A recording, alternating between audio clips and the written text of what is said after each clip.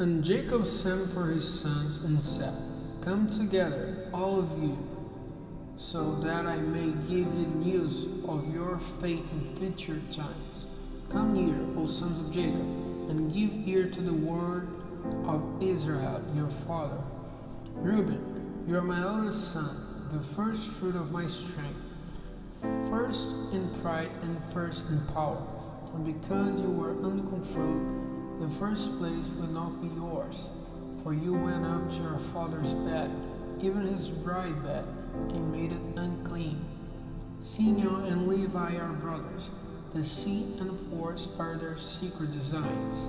Take no part in their secret, O my soul. Keep far away, O my heart, from their meetings. For in the wrath they put men to death, and for their pleasure even oxen were wounded. A curse on their passion, for it was bitter, and on their wrath, for it was cruel.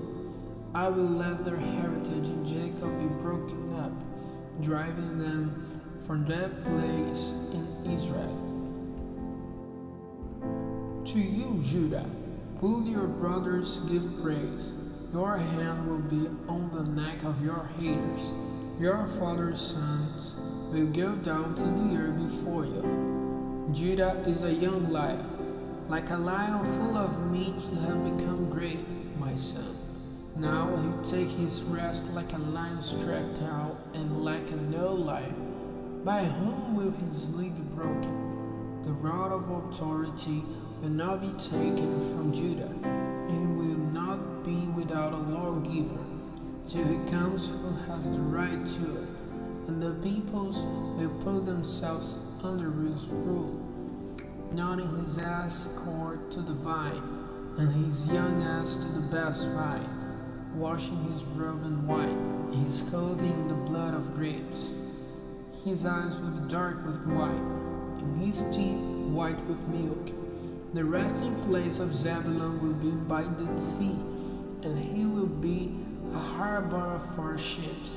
The edge of his land will be by Zidon. Issachar is a strong ass stretched out among the flocks, and he saw that the rest was good, and the land was pleasing. So he let them put weights on his back, and became a servant. Dan will be the judge of his people as one of the tribes of Israel. May Dan be a snake in the way, a horned snake by the road, biting the horse's foot, so that the horseman has a fall. I have been waiting for your salvation, O Lord. Gad, an army will come against him, but he'll come down on them in their flight. Asher's bread is fat, he gives delicate food for kings. Naphtali is a roll let loose, giving fair young ones.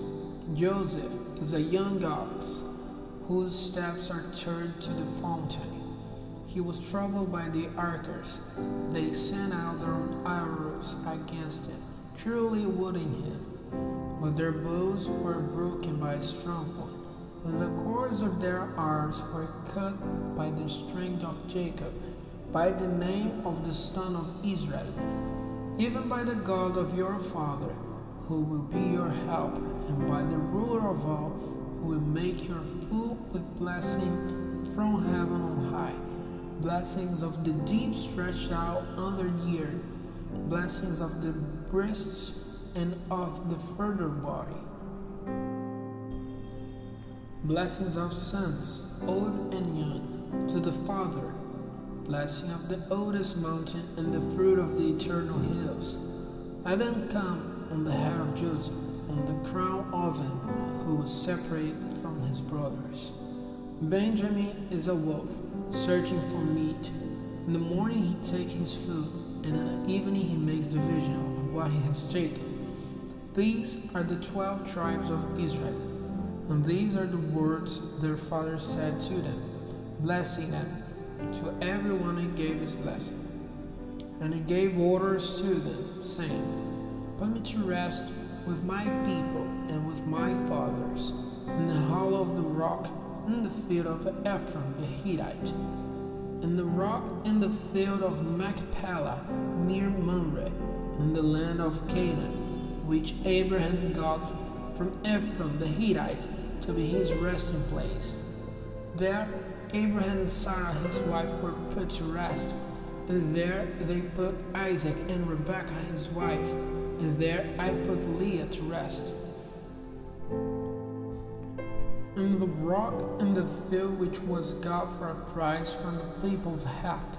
And when Jacob had come to the end of these words to his sons, stretching himself on his bed, he gave up his spirit and went away of his people.